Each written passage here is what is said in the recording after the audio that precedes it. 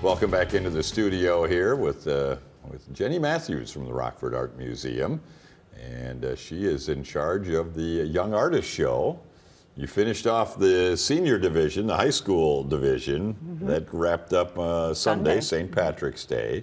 And you were able to put, what, 200 works of art inside a kind of a new venue for the Rockford Art Museum. Why aren't we using the Rockford Art Museum? Uh, we're currently under construction. And you're closed We are for. closed um, For a while yet. Yeah, hopefully sooner than later. but looks like at least into the fall, I think, Yeah. uh, that you'll be closed. But uh, nothing stops the Young Artist Show. 83 straight years, right? That's right. Through COVID, through everything else. That's right. Uh, COVID was a virtual show, if I recall. Mm-hmm. But uh, yeah, so you found a new venue, and it is at Rockford University. Yes. How did the How was the venue? Uh, appreciated? Did you was it? Did you have good crowds there for the high school Oh, show? We sure did. Yeah, it's a lovely facility. We're in the Clark Arts Building, um, and they're used to hosting art shows, so they, uh, yeah, it, it's lovely. And a lot of folks found their way there for the high, uh, high school show. Yes, yeah. Now the young artists take over. And you got one week. It's Monday, Tuesday, and it opens up this Saturday, right? That's true. Yes. Okay. Is that a lot to do in a week? It's, it's a lot of going up and down the ladder, but I, I'll be okay. Yeah. Okay. You're, you're doing this all yourself? You got Oh, some staff? yeah, I have some staff Oh, okay, that's yeah. going to help. So, how many works of art from how many schools, how many young artists will be uh, uh, have their artwork on display starting Saturday? It's 225 pieces of art and everything um, ranging, you know, we have sculpture and drawings and paintings and um, yeah, that represents 218 students and 34 Winnebago County schools. All Winnebago County schools. We have, I think we have some pictures of some of the artwork here. And this is just the sketches, drawings. Is it all, all uh, mediums of art, right? Yeah, yeah. Kindergarten through eighth grade. Kindergarten through eighth grade. Most drawings, or is it a lot of, are there some sculptures or some paintings? There are some sculptures, most drawings. Um, this is just my favorite show, though. Everything is so colorful and uh, joyous. And, and uh, unusual, even, too. yeah, it- the, the imagination of the young, of the grade schoolers and middle schoolers is uh, a little bit out there at times, isn't it? That's, that's pretty darn nice work there, you know. But uh, these will all be on display. Now, did you learn any lessons when setting up for the high school show of what works and what doesn't work in the new venue at the Clark Arts Center?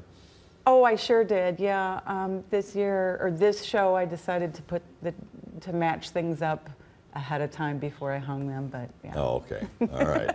So, but uh, it'll all be on, on uh, ready to go. You say you're going to have it done by tomorrow, huh? I'm crossing my fingers. Maybe tomorrow. Okay. But even so, it'll be ready for opening day. Saturday. And, and it is open seven days a week once it opens Saturday, Noon right? to six um, through April 14th. And it is all free to Yes. one and all. Uh, now, this uh, these works of art, they're not graded or juried by anyone, right? Because of the youth division. Uh, there is um, there are awards for each grade. Oh, there are. Okay, Mm-hmm. okay.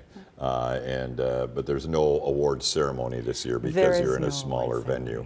How, how how much fun was it to pack 200 plus works of art into a smaller venue than what the Rockford Art Museum has? Yeah, it's actually worked out quite nice. It's it's a lot to see.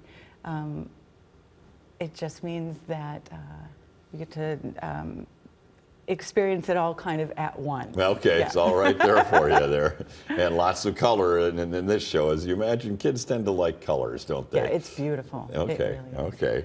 Uh, now, when you said group things together before you take it, match things together, what, what are you, what are you referring to here? Well, um, I'll be hanging everything by school, and then Oh, okay. yeah, um, there are oh, there's labels, and you want to make sure that everything is um, correct. The right- and, yeah, okay. And that we have all of the pieces. That, that also helps, yes. Um, so you, it's, it's shown by schools, not necessarily by different art museums. So if you're looking for a sp- specific grade school, you'll be able to find it there. huh? Yeah, I think normally we um, hang it by grade, but we normally have a lot more room to Yeah, spread bigger things footprint out. Yeah. at the Rockford Art Museum. Yeah. But yes, they're doing a big heating and air conditioning project. System, R- yeah. renovation, not only, and and eventually will affect the other uh, buildings that, or the other places that share your, the building there at Mm-hmm. 711 North Main. But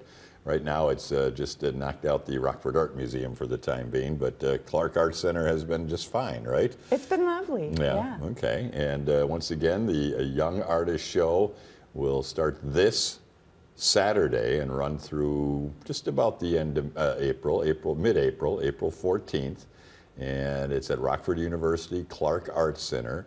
Every day it opens from noon, goes till 6, and it is free each and every day. RockfordArtMuseum.org for more information. Over, uh, what, 225 works of art, you said?